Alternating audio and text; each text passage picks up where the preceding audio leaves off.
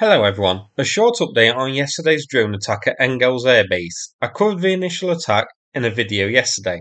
Now satellite images have been shared online by MT Anderson showing the base after the attack. They show no signs of damage and no destroyed aircraft. At the time, between 3 to 5 explosions were heard at the base during the strike. This first image shows a overview of the base itself.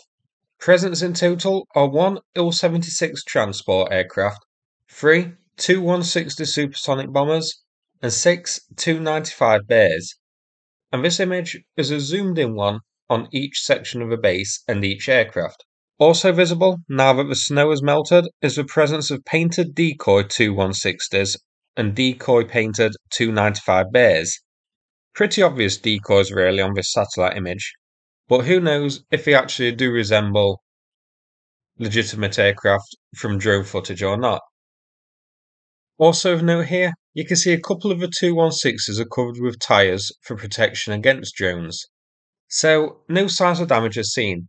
So it's looking like the explosions that we heard during last night's video were either impacts that missed the target or successful interceptions detonating the drones in midair.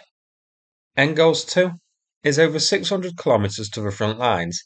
I expect we will see this base targeted again by Ukraine, as it's clearly within range of drones. It's home to the 121st Guards Heavy Bomber Aviation Regiment and the 184th Heavy Bomber Aviation Regiment, both of whom have attacked Ukraine during the war, so this would be an excellent base to strike. So that's it for this video. Hope you found it interesting. Now before I finish, I'm going to play a video from the Ukraine Volunteer Centre about the ongoing fundraiser with them.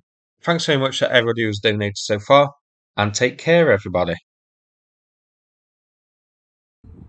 Good afternoon, greetings from the Ukrainian Volunteer Center. My name is Mitro, I'm a head of the fund. Uh, friends, we're at the finish line and only $4,000 left to raise for a car of our soldiers. Let's come together and help our heroes. Every donation is important for us. With love from Ukraine.